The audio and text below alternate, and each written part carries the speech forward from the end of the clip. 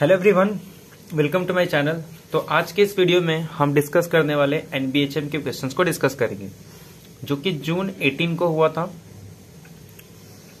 तो आज के इस लेक्चर में जो हम एनबीएचएम के क्वेश्चंस को डिस्कस कर रहे हैं, वो ग्रुप थेरी का क्वेश्चन है। क्योंकि एनबीएचएम में जितने भी ग्रुप थेरी के क्वेश्चन आए थे, वो काफ़ी सिंपल आए थे। यानी कि अगर आपको कुछ फॉर्मूले भी पता है तो उनके हेल्प से आप उन क्वेश्चंस को डील कर सकते थे। ठीक है? तो बेसिकली आज के इस वीडियो में हम लोग ग्रुप थेरी के क्वेश्चंस को डिस्कस करेंगे, जो कि एनबीएचए में पूछा गया था। ठीक है?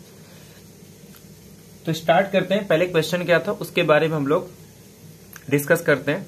बाकी आपका नेट का नोटिफिकेशन आ चुका है। एप्लीकेशन फॉर्म भी स्टार्ट हो गया है। तो वो आप लोग फिल कर दिए होंगे। ठीक है?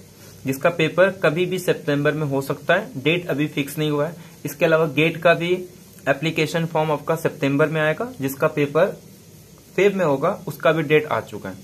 एमएस सेट के बारे में अभी तक कोई नोटिफिकेशन नहीं है। तो स्टार्ट करते हैं हम लोग। क्वेश्चन को डिस्कस करना। अब ये ग्रुप थ्री का एक क्वेश्चन था। बहुत ही सिंपल क्वेश्चन है कि ए एक अबेलियन ग्रुप डिफाइन किया है। कि Z by seven Z direct sum या इसको आप डायरेक्ट प्रोडक्ट बोल सकते हो। Z by forty nine Z जहाँ पे इसने जेड बाय एनजेड के बारे में भी डिफाइन कर दिया है कि ये एक साइक्लिक ग्रुप है इंटीजर्स मॉड्यूलो एन का। और सीधे सीधे क्वेश्चन पूछ रहा है कि इस ए के पास सेवन ऑर्डर के कितने सब ग्रुप होंगे?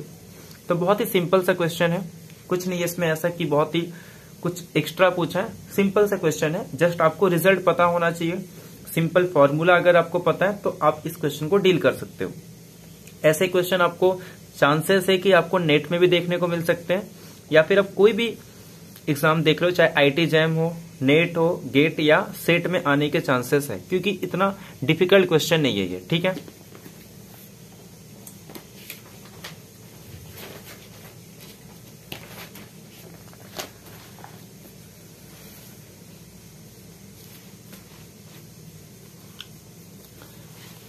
अब हमें गिवन है कि ए एक ग्रुप डिफाइन किया है Z by seven Z, direct product Z by forty nine Z. अब ठीक है, अब ये अबेलियन ग्रुप इसके लिए दिया है क्योंकि ये एक साइक्लिक ग्रुप नहीं है। ठीक है, क्योंकि जैसे मान लो, पहली बात है ये, पहले हम ये समझते हैं कि जेड बाय सेवन जेड और Z by forty nine Z क्या है। अब जेड बाय सेवन जेड, ये हमारे पास एक क्वेश्चन ग्रुप है जो कि आइसोमॉर्फिक होता है। जैसे कि अगर मैं जेड बाय एन जेड ले लू तो ये आइसोमॉर्फिक होता है जेड एन के। और जेड एन क्या है हमारे पास? ये एक साइक्लिक ग्रुप है। और अगर कोई भी ग्रुप साइक्लिक ग्रुप हो तो उसके बारे में सब कुछ हमें पता होता है। जैसे कि उसके पास कितने नंबर ऑफ़ सब ग्रुप होंगे, किस ऑर्डर के कितने नंबर ऑफ़ सब ग्रुप होंगे, किस ऑर्डर के कितने नंबर ऑफ़ एलिमेंट होंगे, ये सारी चीज़ें हमें साइक्लिक ग्रुप के अंदर पता होती है, ठीक है? तो ये हमारे पास एक साइक्लिक ग्रुप हो गया ऑर्डर एन का। और जितने भी साइक्लिक ग्रुप होते हैं ऑर्डर एन के, वो आपस में आइसोमॉर्फिक होते हैं। ये भी एक रिज़ल्ट है। अब क्योंकि उसने ऑलरेडी कह दिया है कि जेड बाय सेवन जेड एक साइक्लिक ग्रुप है तो ये आइसोमॉर्फिक हो जाएगा जेड सेवन के, और ऐसे ये आइसोमॉर्फिक हो जाएगा जेड फोर्टी नाइन के। अब नेक्स्ट क्वेश्चन ये आता है कि क्या ये साइक्लिक ग्रुप है और ये साइक्लिक ग्रुप है? तो क्या ए साइक्लिक ग्रुप होगा? तो आंसर है नहीं। क्यों? क्योंकि ये साइक्लिक ग्रुप तब होगा जब सेवन और फोर्टी नाइन का जीसीडी वन होता। बट सेवन फोर्टी नाइन का जीसीडी क्या आ रहा है हमारे पास? सिंपल सेवन आ रहा है तो यानी कि ये आपस में को प्राइम या रिलेटिवली प्राइम नहीं है। तो देयर फोर ये सिंपल अबेलियन ग्रुप कह सकते हैं। क्योंकि ये अबेलियन ग्रुप है, ये अबेलियन ग्रुप है तो इनका जो डायरेक्ट प्रोडक्ट है या डायरेक्ट सम वो क्या हो जाएगा? अबेलियन ग्रुप होगा। ठीक है? तो यहाँ तक क्लियर हो गया। तो कहने का मतलब ये हमारे पास सिर्फ़ अबेलियन ग्रुप है। अब हमें कैलकुलेट करना है कि इसके पास सेवन ऑर्डर के कितने नंबर ऑफ़ सब ग्रुप होंगे। हमारे पास एक रिज़ल्ट होता है कि number of cyclic subgroup of order D where D divides N मान लो इस ग्रुप का ऑर्डर एन है। तो यहाँ पे अगर मैं ग्रुप के ऑर्डर की बात करूँ तो ये आ जाएगा सेवन इंटू फोर्टी नाइन अब कोई डी अगर इसे डिवाइड कर रहा है, जैसे कि सेवन अगर इसको डिवाइड कर रहा है तो उस ऑर्डर के कितने number of cyclic subgroup होंगे तो देखो। तो अगर number of cyclic subgroup of order D where D divides N is equal to पहले तो आप ये निकाल लो कि कितने नंबर ऑफ़ एलिमेंट्स होंगे of order D in G तो डी ऑर्डर के कितने नंबर ऑफ़ एलिमेंट्स होंगे इस ग्रुप के अंदर? और उसके बाद फाइव ऑफ़ डी से डिवाइड कर दो। फाइव डी से मतलब डी के कितने नंबर ऑफ़ रिलेटिवली प्राइम होंगे, वो हमारे पास फाइव डी होता है। ठीक है?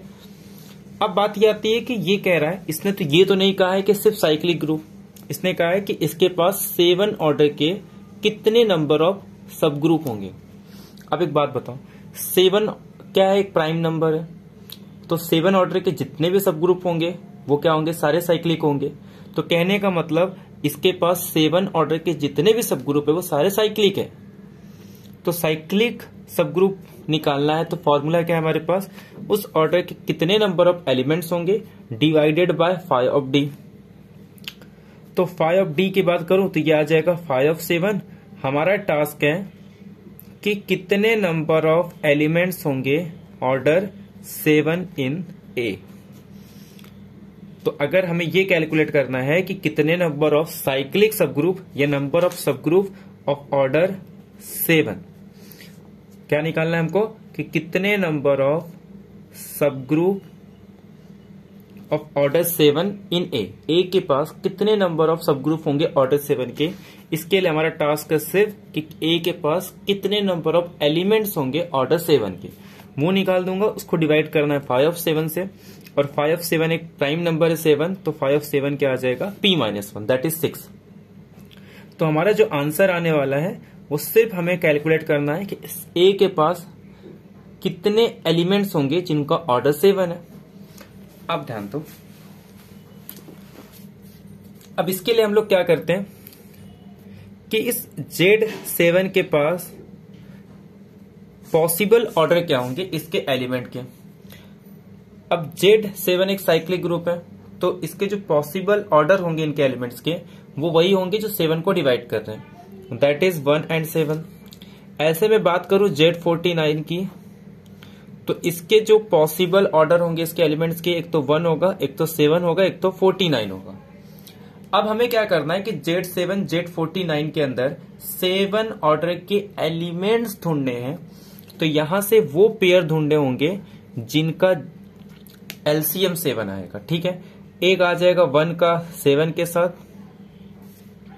एक आ जाएगा सेवन के वन के साथ और एक आ जाएगा सेवन का सेवन के साथ। सिंपल सी बात है। तो ये वो पॉसिबल पेयर्स हैं जिनके एलसीएम सेवन होंगे, ठीक है? तो यानी कि ये वो एलिमेंट्स हैं जिनका ऑर्डर क्या होगा? सेवन होगा। ठीक है, हमें कैलकुलेट क्या करना है कि कितने एलिमेंट्स होंगे ऑर्डर सेवन के? तो ये, अब हमें ये कैलकुलेट करना है कितने नंबर ऑफ़ एलिमेंट्स होंगे। तो आपको क्या करना होता है? हर एक का फाइव फ़ंक्शन निकाल यानी कि phi of one into phi of seven plus phi of seven into phi of one plus phi of seven into phi of seven. ये सिंपल फॉर्मूला है हमारे पास। तो फाइव ऑफ़ वन की वैल्यू वन आ जाएगी, फाइव ऑफ़ सेवन की value six, phi of seven is equal to six, phi of one is equal to one, और ये सिक्स इंटू सिक्स। यानी कि जब इसको आप कैलकुलेट करोगे तो ये टोटल एट इंटू सिक्स, यानी कि फोर्टी एट आ जाएगा। अब ये इस वैल्यू को उठा के यहाँ पुट कर दो। आप इसको डिवाइड करोगे तो total eight number of subgroups हैं। तो हालाँकि सिंपल सा कैलकुलेशन है, फॉर्मूला यूज़ करके आप कैलकुलेट कर सकते हो। अब इसमें इंपॉर्टेंट पॉइंट क्या था, ये देखो। अब ये क्वेश्चन तो इतना डिफ़िकल्ट नहीं था, इस क्वेश्चन को कोई भी एक एवरेज स्टूडेंट भी डील कर सकता है। बट प्रॉब्लम ये है कि अगर जब इस क्वेश्चन को आप इंटरव्यू को ले जाते हो, क्योंकि अगर आप एनबीएचएम क्लियर कर ले तो ज़ाहिर सी बात है, आपका सारे रिसर्च में आपके शॉर्टलिस्ट हो जाओगे। इसके अलावा स्कॉलरशिप के लिए आपको एनबीएचएम के पीएचडी में जाना होगा। तो उसके लिए अगर मान लो इस क्वेश्चन को आपने किया है तो इससे रिलेटेड